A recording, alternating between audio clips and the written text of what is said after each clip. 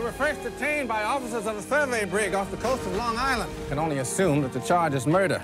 We do hereby claim salvage on the high seas of the Spanish ship La Amistad and all her cargo. Your Honor, here are the true owners of these slaves. These slaves, Your Honor, are by rights the property of Spain.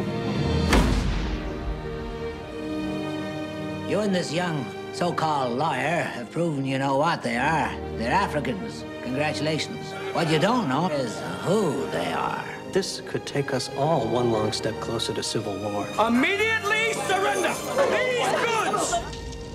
Our president has appealed the decision to our Supreme Court. Bang Delobi!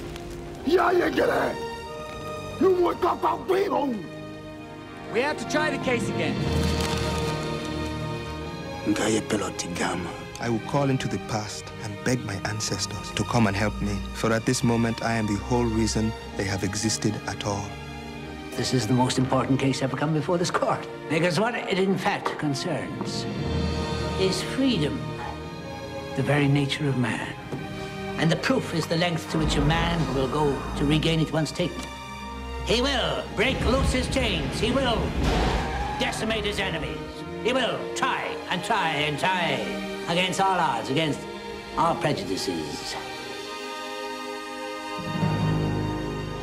to get home.